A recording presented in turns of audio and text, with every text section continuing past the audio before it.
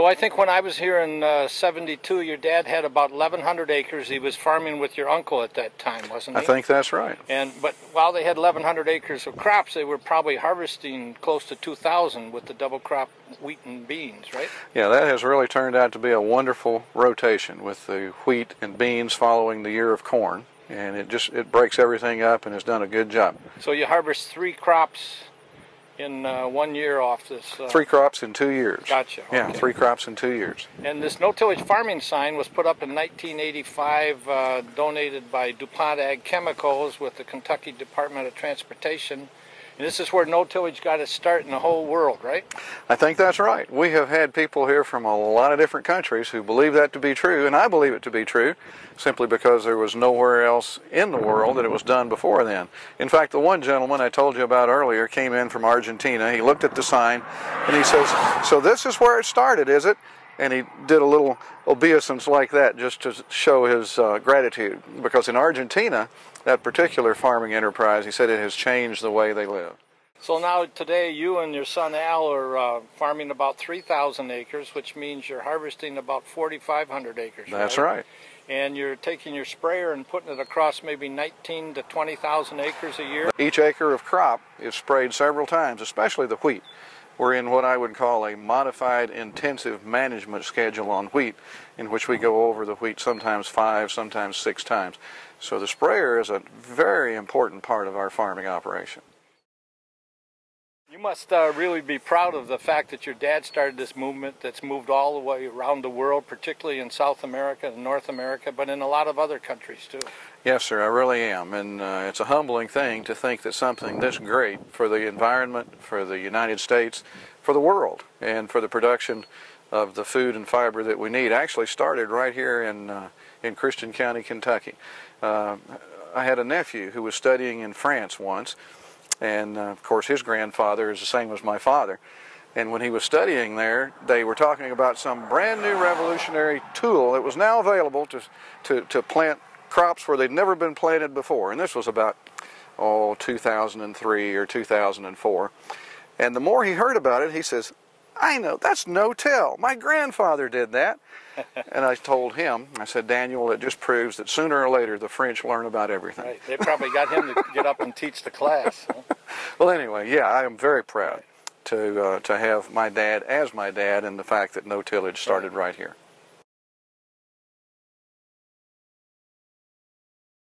So along along about 1962, when your dad started this, or 1965, how old were you then? I was 12 years old. Okay, what do you remember from those days? I remember junior high football and math class.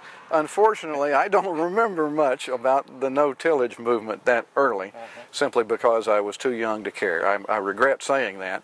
I do remember that after that, there were a lot of phone calls, a lot of visitors, a lot of people who wanted to come by and talk, and really until I got interested in farming as a profession, uh, I didn't realize how great a thing it was, Frank. I just didn't understand how great a thing it was. I remember when I was here in 72, your dad talking, and they had estimated that 10,000 other farmers had been here uh, in that, the next the last 10 years just to see what he was doing with no I have no doubt of that at all. There would be convoys of buses and people from different countries around the world, of course different states within the United States. In 72 I was in college, so I probably was not here for that meeting, but there were a lot of lots and lots of visitors. So you got uh, 3,000 acres now. What's the future? You're going to add more land, or don't know, or what? Oh, I'm looking forward to more grandkids coming down the pike. There you go. But uh, yeah, we hope to have a good, uh, sustainable, uh, profitable family farm here well past when I'm gone. So, so that's that's my hope. So maybe you're going to tell Al, no more. We won't add any more acres till we get some more grandchildren. well, there's no challenges involved. There's no dares, but uh, it's always good to see the family come back and enjoy being together right. as a family. That's great. What are about the two or three uh, key points that you've seen no-till that's really helped this operation and helped other operations throughout the country and the world? Well, I think the one thing that are the strong points of no-till. There's got to be the, the primary focus. You save soil, you save labor, you save diesel. All of the savings that can go into the bottom line of a farming uh, operation, a profitable farming operation. Another thing would just be the, uh, the social changes that have taken place. I really believe no-till has been not only an environmental boost, but it's also been a boost to each American farmer who is still in business. By that I mean that I think it has it has sped up the the um, procedure in going from many, many, many small farms to fewer and fewer larger farms, which unfortunately uh, for the small farmer uh, is difficult, but is also much more efficient. In other words, if you had to have the number of tractors that it would take to plow and to disc and to prepare, you would have to have far more workers. And those workers are now doing other things in other professions, and I think the, the sociological implications are quite great. I've been following no-till since 1972, and I understand the importance of the conservation benefits to this, but I've always said from day one the economics had to be there. To Absolutely. Absolutely. Uh, every farmer must make a profit. It's as simple as that. No-till, I believe, adds to the possibility of each farmer making a profit simply because it, it saves him in so many ways, and it also produces just as much, if not more, than the conventional farming methods. So you're exactly right. Well, for, for a number of years, we heard people say, well, I'm not so sure I want to no-till. I think I'm going to lose some yield because of this. I think that's true up to a point. For the first year or two after you move into a farm that has been plowed and ripped and disked, there is a, a lack of um, earthworm channels and root channels and all of the things that add to the structure and the strength of a soil. So a no-tiller has to be patient because after that first year or two, then you're going to start seeing some benefits. And those are the things that are really the long-term advantage to no-till, right. the environmental benefits. I think that's uh, very important that these people who no-till stick with it and uh, both on corn and soybeans and other crops, you can't be jumping back to a, um, like a minimum tillage on one and then come back and expect to get all the benefits of no-till. Yeah, the ideal world would be to have nothing disturbed but the place where the seed goes in the ground. Right. And we're not there yet, but we're getting closer and closer each year. Thank you.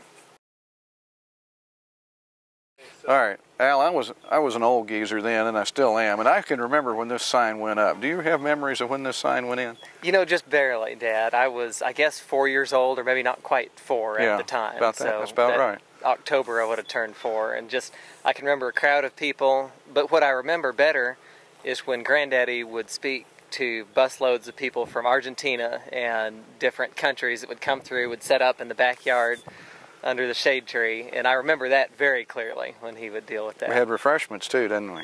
I don't know if I ever got any of those. Maybe those were for the adults. I, think I, I wasn't know. yeah, encouraged to have sugar. But what do you think about farming yeah. now?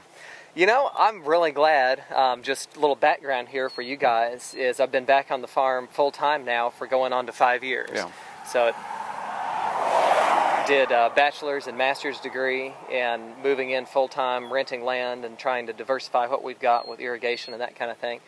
And it's a very exciting time for me to be back farming with you and just stepping into the sixth generation there in the family process. There's a lot of people that would love to be where I am, and there's a lot more that don't understand what we are doing. Yeah. And it's really exciting for me to be here. Well, it may be exciting for you, but it's equally exciting for Beth and for me. We are delighted to have you back. Thank you.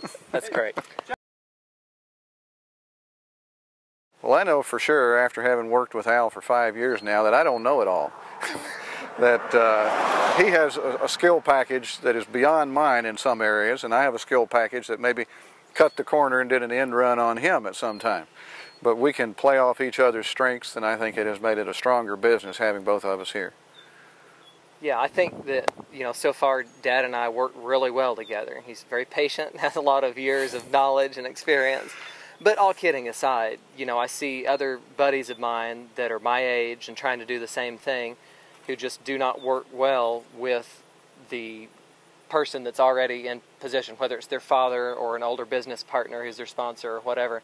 There are some real issues that, you know, Dad and I have not had to overcome.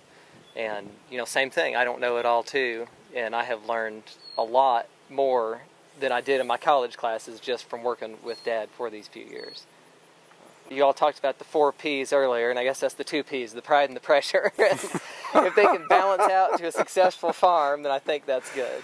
Well, but, the, the common denominator that we have is my wife. Obviously, you know, she keeps things running smoothly. She is good at that, or we wouldn't be getting along so well. So give credit where credit is due. My wife Beth too. Hmm. Right? Yeah, that's right. Yes, mom and dad both. Yeah.